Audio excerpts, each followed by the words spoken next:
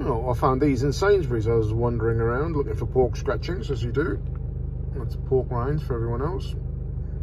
Lightly seasoned British charcuterie. Wild venison, rich and succulent.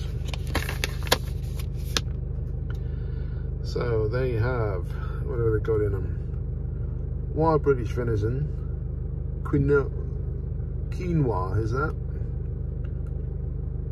Wagyu fat, salt, cracked black pepper, garlic powder, cherry extract, probiotic culture, preservatives, sodium nitrate, 173 gram, grams of venison for every grams of finished product.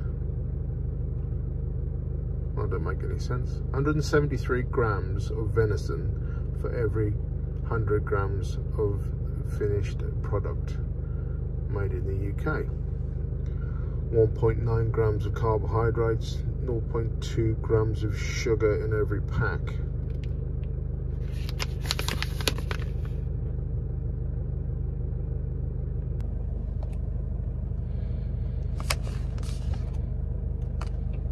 Smell a bit peppery.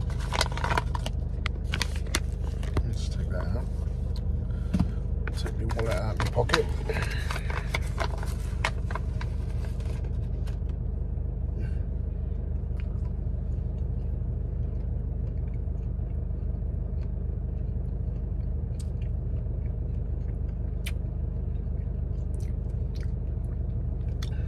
They're a bit gamey, as you would imagine.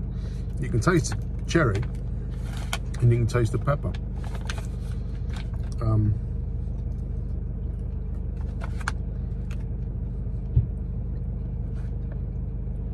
it's just a bit like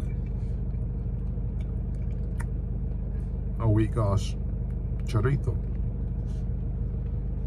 But they're all right, two quid.